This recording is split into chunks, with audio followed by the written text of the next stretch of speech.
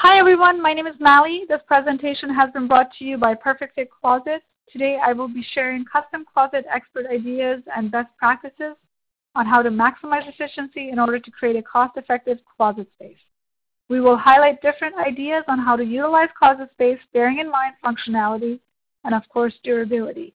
Together we can bring your imagination to a whole new level. Closet components versus kitchen components. If you are not familiar with the 32 millimeter European style closet component, then you're most likely passing up on, closet, on custom closet projects or pricing your projects is extremely high because you're using kitchen cabinet components to create the closet space. Also, you're most likely lacking the right accessories to create an efficient space. Here are a few differences to note between closets and kitchen cabinet components. Closets do not use a box system. Closets also do not use modular systems as the design process shares panels. You will see a box system for a kitchen is already put together for you. In closets, you're not dealing with that. You're dealing with a shared panel system. Closets are designed with specific depths and heights, allowing you to maximize the space and the number of design walls used. We will discuss this further in the design portion of this presentation. You'll notice the 32 millimeter hole pattern on those panels. You'll see that on all closet panels. You have closet components offer both floating wall panels and floor panels. So you can use both on your design process and offset the cost wherever possible. This is the rail system that allows for the floating wall panels to stay up. So you're able to use shorter panels for where you have hanging, so there's no need to bring extra toe kicks and other components that add cost to the design. Closet panels offer a hole pattern to give the design and end user adjustability and options. We are going to dive into talking about hanging sections. We're going to talk about uh, various different styles you can put into a closet in order to maximize that space.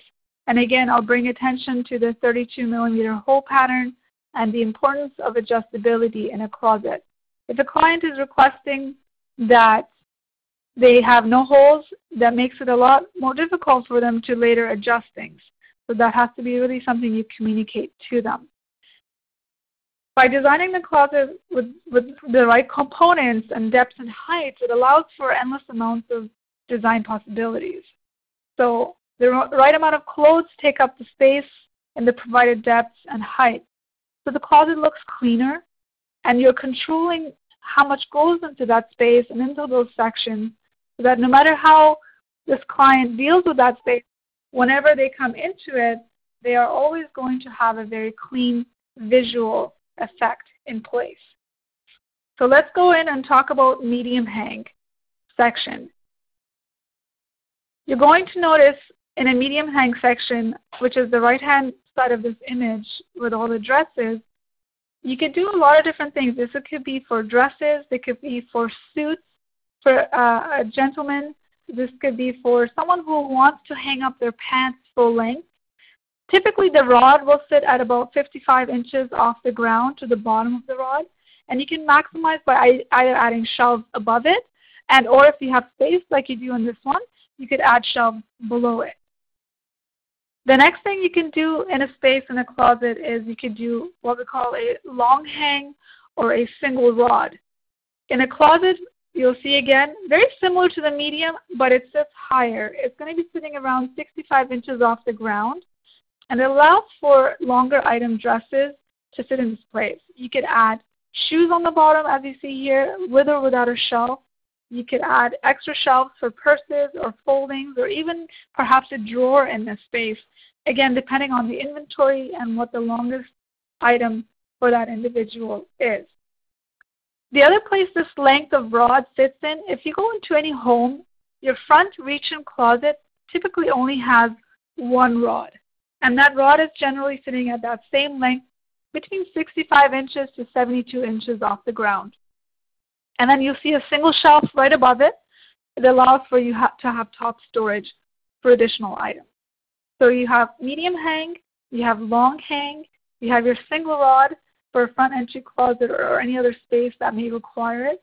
The next thing that you're going to have is what we call a double hang. Most closets are designed at that 84 inches height overall off the ground because your top rod is sitting at 80 inches off the ground and your bottom rod is sitting at 40 inches off the ground. So you're able to put a good space between those two rods. You can even sometimes throw a shelf above the bottom rod in order to give it a cleaner look and allow, to, allow the clients to maximize that space. Again, in a, in, a, in a kitchen cabinet system, this would be a bit of a challenging thing to have. So this is why the panels with the hole patterns allow for you to have this kind of style in a most cost-effective way. The next thing we're going to talk about for hanging is triple hang. You'll see here within the 2020 uh, catalog, um, we are able to put rods at different heights. And those click right into place due to that 32 millimeter hole pattern. So we've done medium, we've done long, we've added our shelves, we have a combination of uh, floor and um, hanging gables. And now you'll see we're able to place our rods uh, typically where they're supposed to be sitting for a triple hang, which is uh, generally some sitting around the 28 to 30 inches off the ground. And you have another one sitting around 56 inches and the top one always sitting at 80. If you have a client that is vertically challenged, uh, you have to remind them that they're not reaching for the rod at the very top. They're generally reaching for the hanger. So you're able to reach uh, those items comfortably. Uh, I myself, I'm one of those vertically challenged people. I'm 5'2", and I'm able to deal with an 80-inch height, no problem. In a triple hang, it's beautiful because as your child, uh, typically they go in a child's closet, as your child is getting older, you're able to take rods away, you're able to uh, take shelves away, convert it into a long hang, convert it into a double hang, convert it into a medium hang. Whatever it is you want to do, you're able to have that adjustability. So once you build this closet once for your clients uh, or their children, then they're able to function with this space for a very, very long time efficiently. So that right there was our discussion around rod placement in a closet. Uh, we'll move on from here and we'll talk about some of the more of the luxury items that clients might want into their master closet. This is the most important space for any female client and you are going to have a lot of female clients because this is every girl's dream come true, a shoe closet. Naturally, most households will collect a lot of shoes and creating space to house them all is not something a home builder ever considers. As you know, the storage footprint in, the mo in most homes is getting smaller and smaller, so custom storage is becoming a necessity versus a luxury. For shoes, you're able to create a tower that is 14 inches deep by 18 inches wide, of course 84 inches in height, which is your closet standard height, that, can, that holds close to 10 shelves in it, pending your shoe heights that you're putting into that space. Each shelf will house two pairs of shoes comfortably, allowing you to house up to 20 pairs of shoes in one tower. That is a lot of shoes for that space in a closet, which you normally don't typically have with your existing space. If you go wider, 24 inches wide, you can house 33, sorry, three pairs of shoes comfortably, allowing you to house that many shoes in a space will open up a lot of that storage space in your other closets or even your front closet for things that you may want to use day to day. Of course, you can bring less shoes in one tower by eliminating some shelves and making room for taller heels and boots.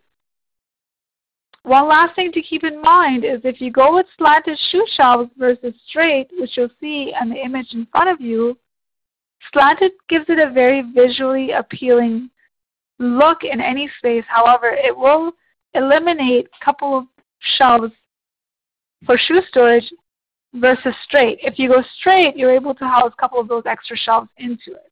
The visual appeal might not be there, however, the efficiency is there. Our focus is now going to be on drawers versus dressers. If you have room in your closet, it's best practice to have drawers in there in order to house uh, undergarments and such so that you can space open up your space in your bedroom.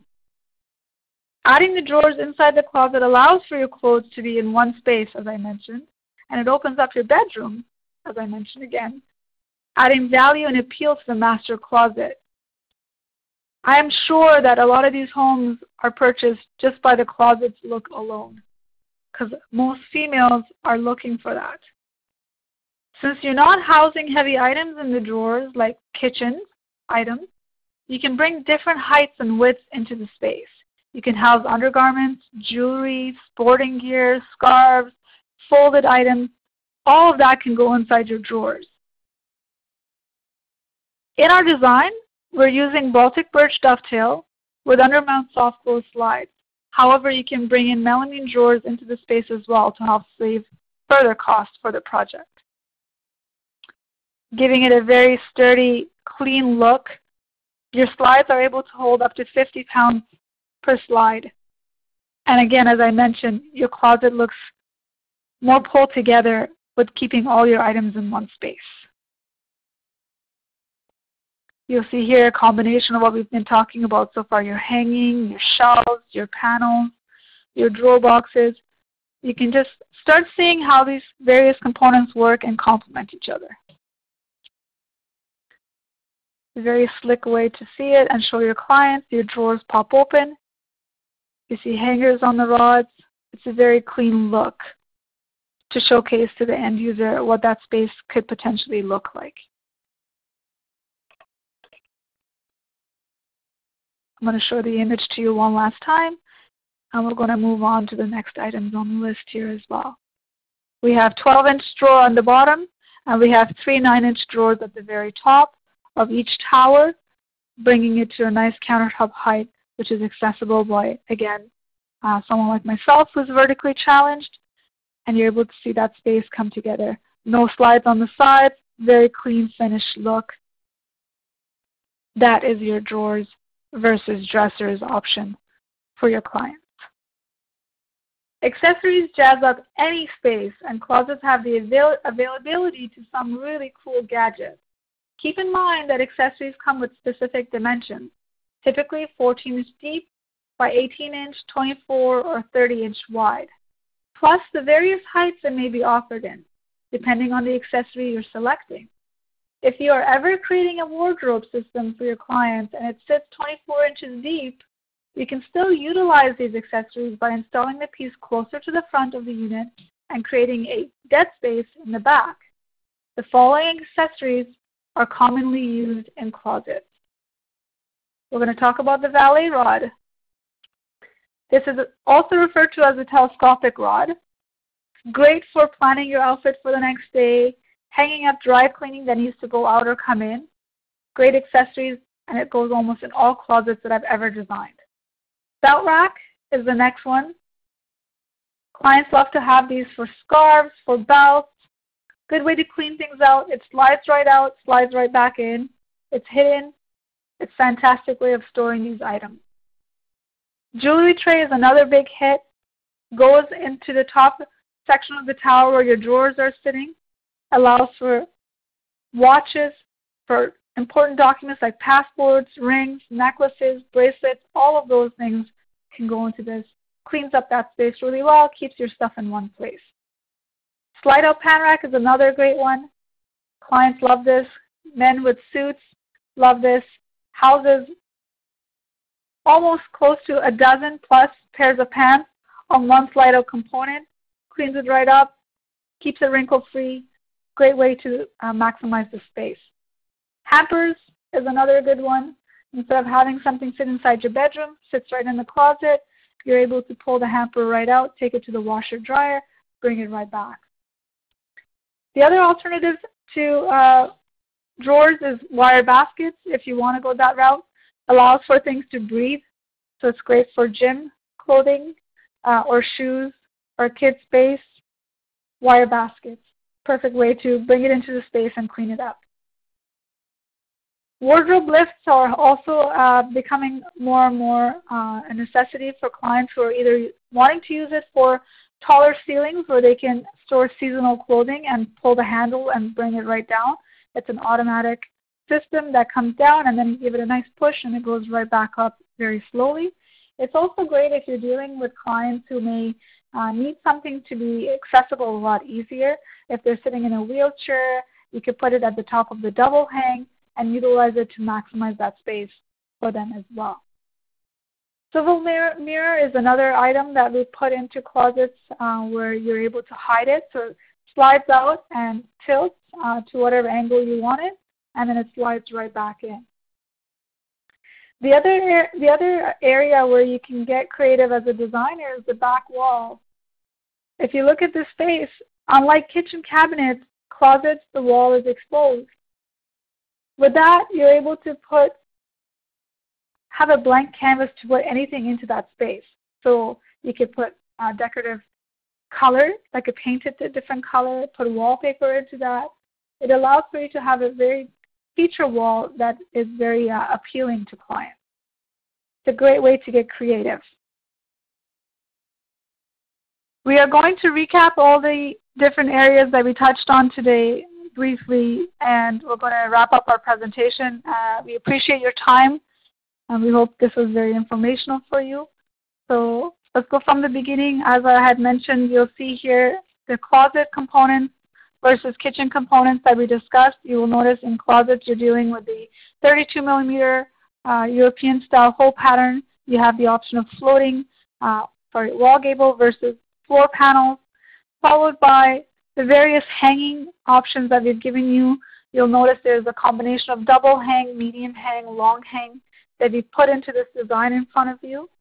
Followed by uh, the shoes that we talked about. So you have shelving for shoes. You could do slanted versus straight shelves. You'll see a combination of straight shelves here where you can add additional shelving to be able to store more shoes. We added doors onto this design, which you will see in the perspective view once we switch it over for you guys. We also added a combination of the slide-up hand rack accessory, followed by hamper, wire baskets, and a few drawers. So this closet that we've designed with you today, uh, talking about the various spaces, gives you a full uh, view of what a space typically looks like when you're going into a home and creating a custom closet for that client. You will notice that a project like this, uh, depending on whether you're in the US or you're in Canada, can run you from an estimated $1,500 up, depending on how much accessories you bring in, uh, what components you're bringing into it. This is what it would look like. 14 inches deep, 84 inches height is your height you want to focus on when building closets. Of course, every other space of the home that you do will have different dimensions that are meant for that space. But in a closet, you're dealing with 14 inches deep, 84 inches height, combination of drawers, accessories, makes it a very perfect custom closet that is functional and adjustable and cost effective. Thank you for watching our presentation. Uh, good luck with your next closet design, and we hope this was informational for you. Have a wonderful day.